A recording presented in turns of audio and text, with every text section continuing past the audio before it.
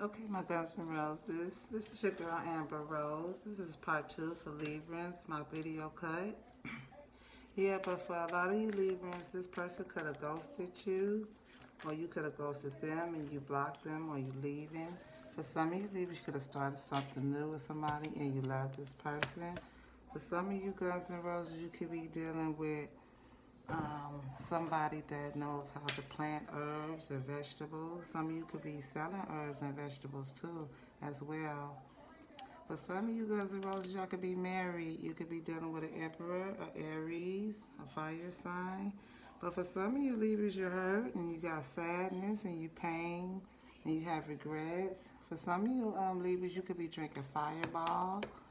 But for some of you um, Libras, you could be the life of the party too.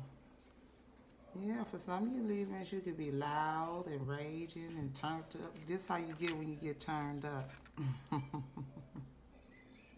but for some of you Libras, look at you showing up in your own read. Yeah, y'all could be um, powerful and independent, confident. For some of you um, um, y'all crafty and very, very um, creative. For some of you um, um, Libras, you could be dealing with somebody that you just need to trust them, or they need to just trust you. For some of you guys, Rose, you got to make a choice between two people, but somebody is slowly pushing you away. For some of you Libras, you can work hard all the time, and you know you're trying to focus on your money. And like I said, some of you um, Libras are sad because you know you hurt because of a third party situation. And for some of you um, Guns and Roses, you could be in a family dynamic too as well. Yeah, for some of you um, Guns and Roses, you could have had a celebration. Christmas just passed. Could have been celebrating with your family and friends. Yeah, but some of you Libras want to go back and work on it with somebody. You're trying to manifest this person back. Yeah, for some of you Libras, you're healing. Yeah, for some of you guys, Rose, you could um, have kicked it with this person. You got to smoke and drink with this person. Yeah, you could be talking to your mom about this person, telling this person, telling this person's mom that you really like this person. Yeah, this person could be planning to contact you, or you could be planning to contact them. Yeah, for some of you Libras that started a new beginning, y'all ready to experience love with someone new. Yeah. For some of you guys in roses, someone could be running their mouth.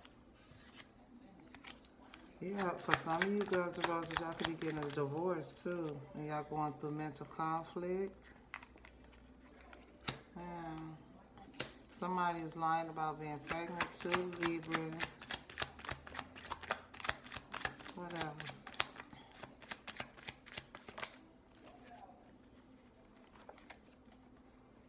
Yeah, for some of you Libras, you could be different now. You done transform. You know, you don't, you not keeping secrets anymore.